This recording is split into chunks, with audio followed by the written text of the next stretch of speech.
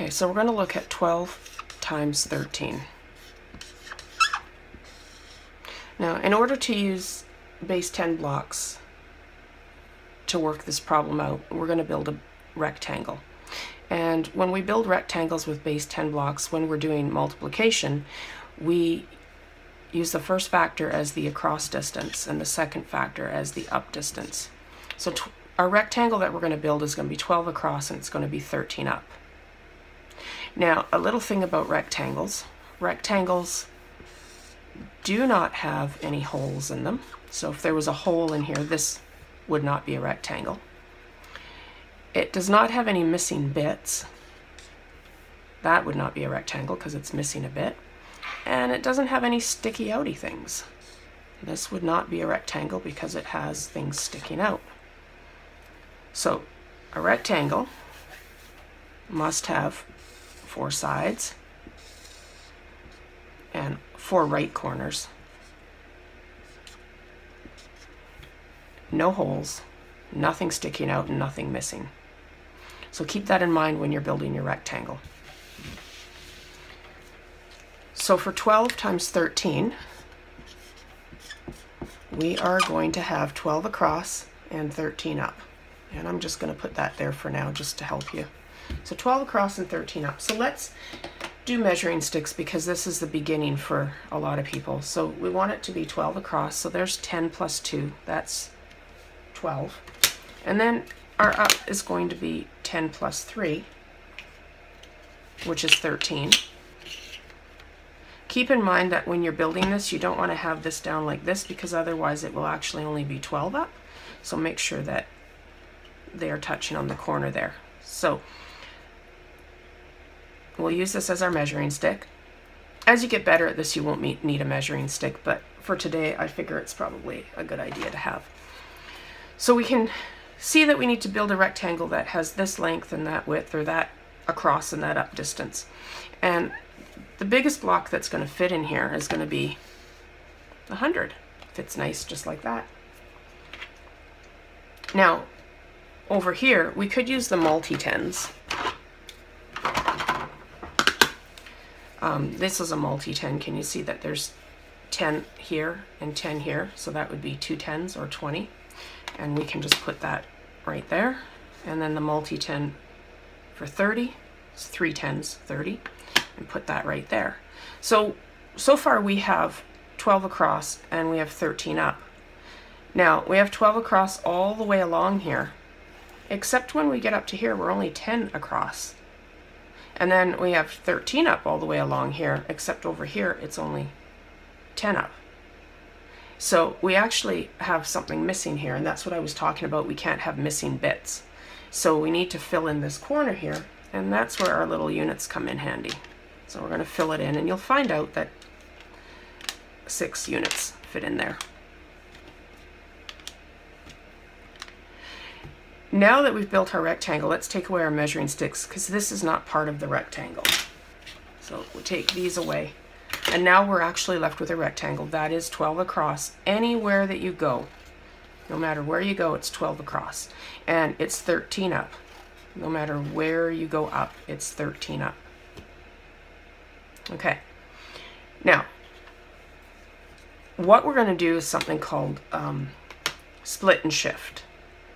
Uh, and what we're going to do is we split the rectangle this way and we shift it like this so that the like kinds are lined up with each other. So here you can see that we have units. Here we've got tens and here we've got hundreds. Now, if you look at the multiplication problem here, hang on, let me use the right color here. If you look at our multiplication problem here, and we could actually rewrite this. I'm going to rewrite this using colors because really uh, 12 is just 110 and uh, 110 and two units and 13 is uh, 110 and 3 units. And I'm actually going to replace these three tens with just three loose tens that are blue, just so you can see the color of the pens go with the color. You can see there's 10 across. And then over here, I'm gonna take the two out of here and put this in here. And the reason I'm doing that is just so that you can see when I write this, how it all kind of fits together. So if I were to put this back together like this, we still have 12 across and 13 up. And can you see that 10 across and uh, a 10 plus 2 across, 10 plus 1, 2 across. And it is 10 plus 2 across anywhere you go here. And then 10 plus 3 up. And you can see the blue and, and the green there and the blue and the green there. Um, but now we're going to do the split and shift again. So we split it, we shift it, line up our like kinds. Okay. Again, keep in mind that this is the across and that's the up. So if we start here, this is two across and three up. If we go two times three, that's two across and three up. And that gives us six, six units. Two across and three up gives us six units. One, two, three, four, five, six. Then this says 10 across. Can you see 10 across here? 10 across and 3 up. 10 across and 3 up. So 10 across and 3 up is actually 3 tens, or 30, but we're going to write it as 3 tens. Really what this is, is that this, this is 30 plus 6, and that's really 30 plus 6, which is 3 tens plus 6 units. Okay, now, can you see how there's no units here? There's just none. So we could put down zero units here because there aren't any in that column there or in that box there if we wanted to draw boxes around here. Okay, so now what we have is 2 across and 10 up. Do you see how this is 2 across and 10 up? And 2 across and 10 up is the same as two tens or 20.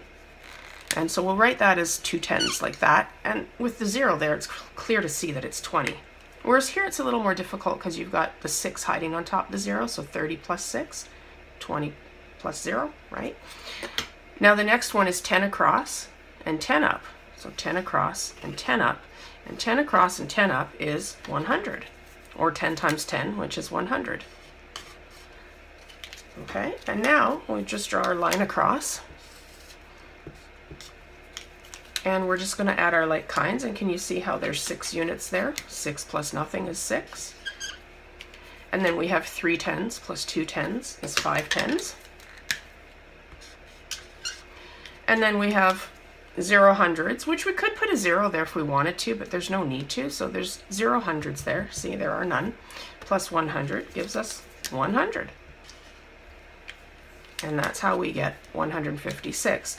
Now the six units that um, Yuzzy was talking about are right here, and that's because you have 2 across times 3. So 2 times 3 is 6, right? 10 times 3 is 30.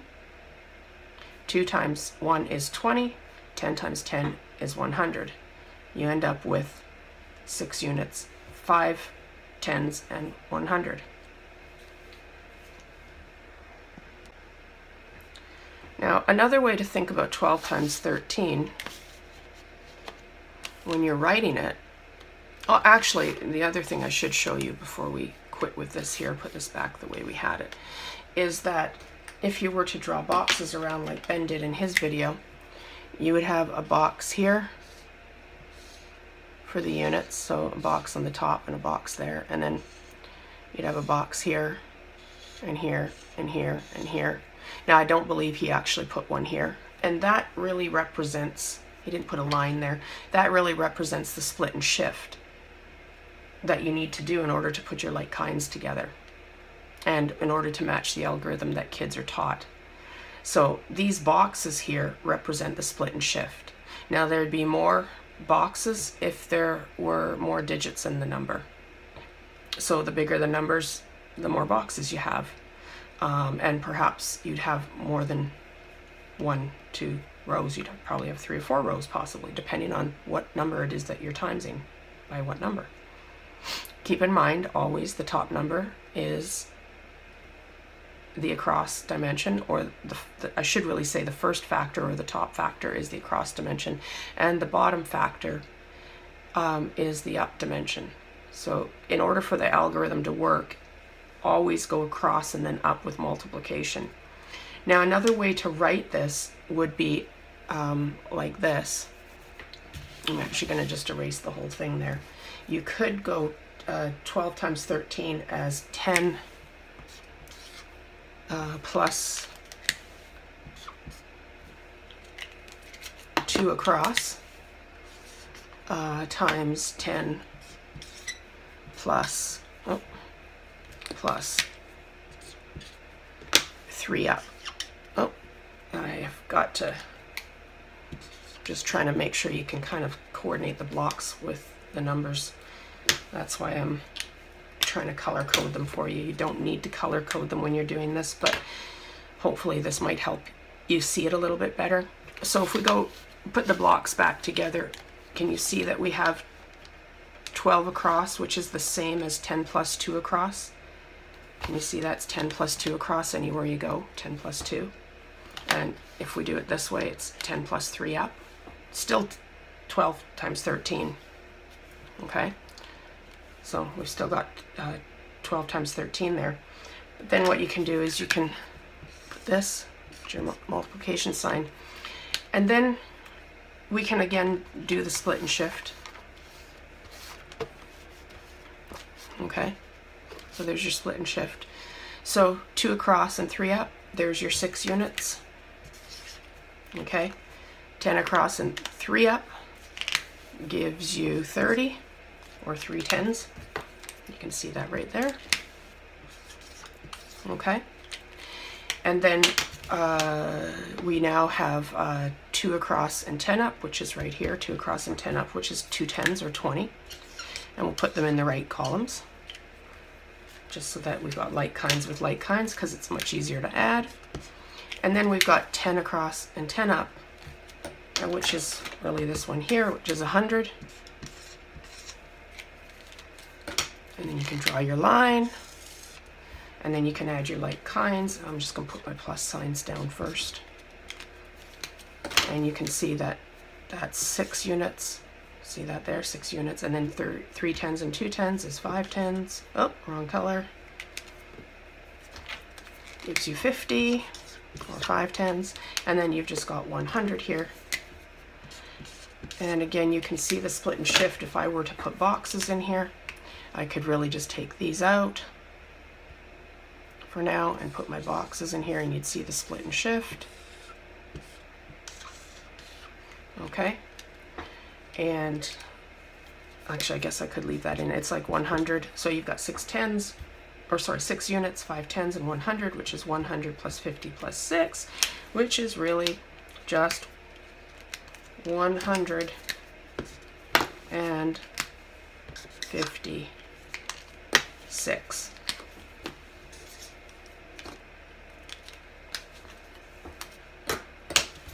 I think I put the wrong colored caps on the wrong colored pens, but that's okay. Now, one of the faster ways to do this, as you get better at this, is we just erase this and we go 12 times 13 and we go 2 times 3 is 6 and then we've got 3 times 10 is 30 10 times 2 is 20 so that's 30 plus 20 is 50, plus the 6 is 56, plus 10 times 10 is 100, 156. And that's kind of the aim for the kids to be able to do that in their head.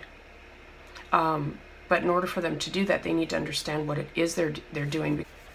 So typically what you're taught in school is this algorithm. 3 times 2 is 6. 3 times 1 is 3. Put down your 0. 1 times 2 is 2. 1 times 1 is 1. Add those together, 156. But nowhere in all of that did they explain to you that this is really 2 times 10, or 3 times 10, or 10 times 10. This is the only one that really makes sense. 2 times 3 is 6. But everything else, they don't use the place value, and that's the beauty of teaching multiplication this way is that kids will learn the place value and they'll understand that that's a 10 and a 2, not a 1 and a 2, and that's a 10 and a 3, not a, a 1 and a 3. And they'll understand that that's three tens and two tens and 100, and that that's five tens and 100, and that that's six units, right? And that there is a difference between each of these place values.